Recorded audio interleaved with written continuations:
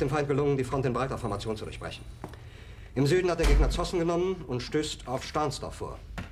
Der Feind operiert jetzt am nördlichen Stadtrand zwischen Frohnau und Pankow. Und im Osten ist der Feind bis zur Linie Lichtenberg-Marsdorf-Karlshorst gelangt.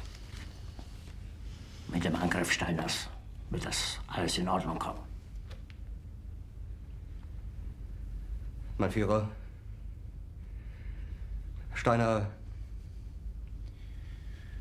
Steiner konnte nicht genügend Kräfte für einen Angriff massieren. Der Angriff Steiner ist nicht erfolgt.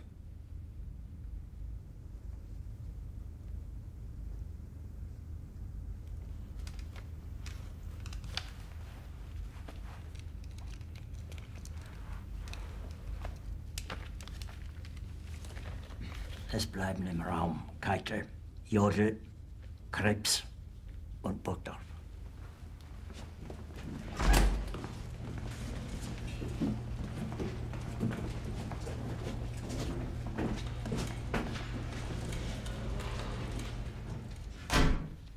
Das war ein Befehl!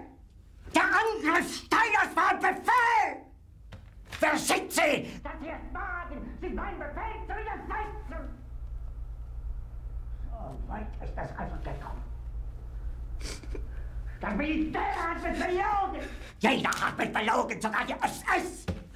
Die gesamte Generalität ist nichts weiter als ein Haufen niederträchtiger, treuloser Feiglinge! Mein Führer, ich kann nicht zulassen, dass die Soldaten, die für Sie verbringen... Nicht als Feiglinge! Verreiter, Versager! Mein Führer, was Sie da sagen, ist ungeheuerlich. Die Generalität ist das Geschmeiß des deutschen Volkes! Sie ist ohne Ehre! Sie nennen sich Generale, weil Sie Jahre auf Militärakademien zugebracht haben, nur um zu lernen, wie man Messer und Gabel hält! Jahrelang hat das Militär meine Aktionen nur behindert! Es hat mir jeden nur ersichtlichen Widerstand in den Weg gelegt! Ich hätte gut daran getan, von Jahren alle höheren Offiziere liquidieren zu lassen, wie Stalin!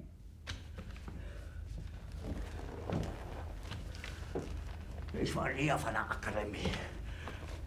Und doch habe ich allein, allein auf mich gestellt, ganz Europa erobert. Verräter! Von allem Anfang an bin ich so verraten und betrogen worden. Es wurde ein ungeheurer Verrat geübt am deutschen Volke. Aber alle diese Verräter werden bezahlen. Mit ihrem eigenen Blut werden sie bezahlen. Sie werden es saufen in ihrem eigenen Blut. Bitte gerne. Jetzt beruhig dich doch.